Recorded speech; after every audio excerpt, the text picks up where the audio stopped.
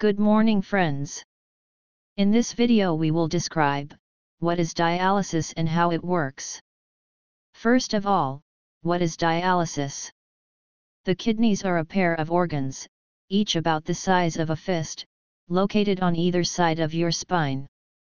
They're responsible for purifying your blood by removing waste and excess fluid from your body.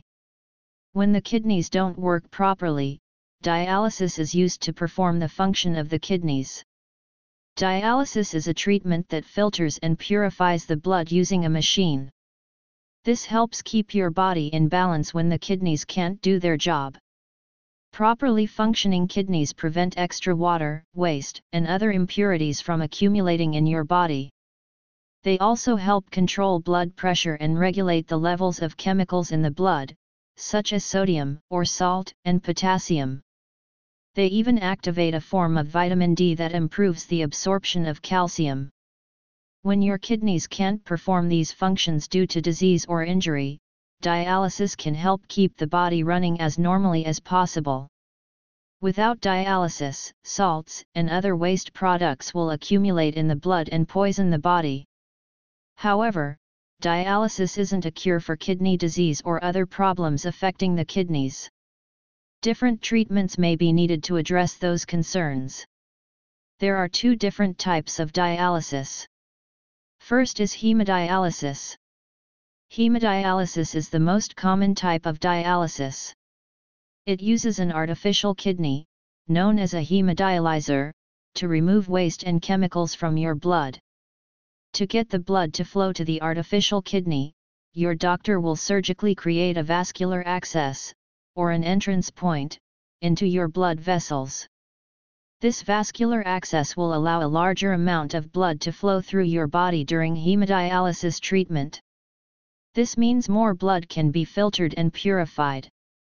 The two type of vascular access designed for long-term dialysis treatments are an arteriovenous, AV, fistula, which connects an artery and a vein and an AV graft, which is a looped tube.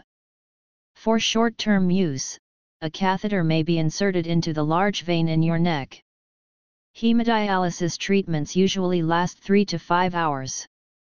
The treatment is typically needed 3 times per week. However, hemodialysis treatment can also be done in shorter, more frequent sessions. Most hemodialysis treatments are done at a hospital, doctor's office, or dialysis center. The length of treatment depends on your body size and the amount of waste in your body.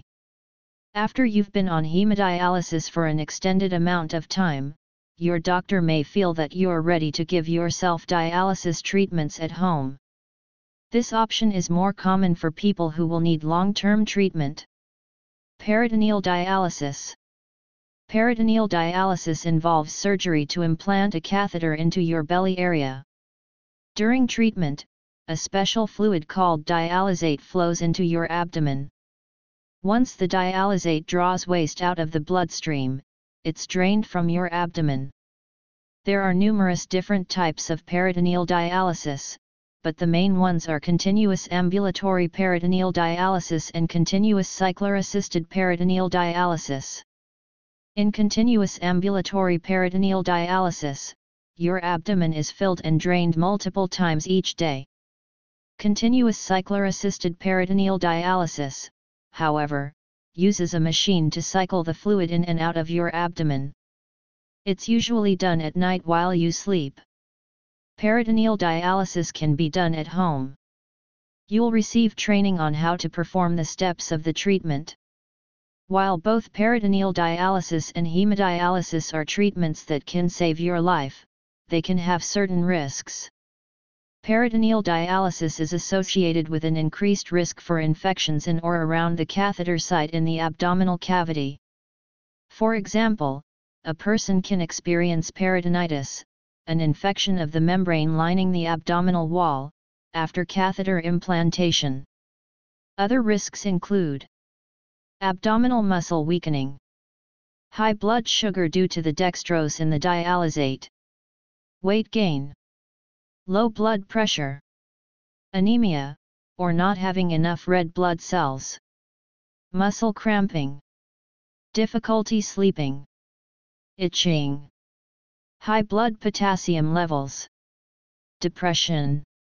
Pericarditis, which is an inflammation of the membrane around the heart. Before your first dialysis treatment, your doctor will surgically implant a tube or device to gain access to your bloodstream. This is typically a quick operation.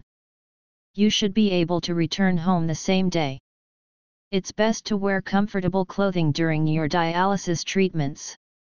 You should also follow your doctor's instructions, which may include fasting for a certain amount of time before the treatment. Not all kidney disorders are permanent. Dialysis can temporarily serve the same function as kidneys until your own kidneys repair themselves and begin to work on their own again. However, in chronic kidney disease, the kidneys rarely get better.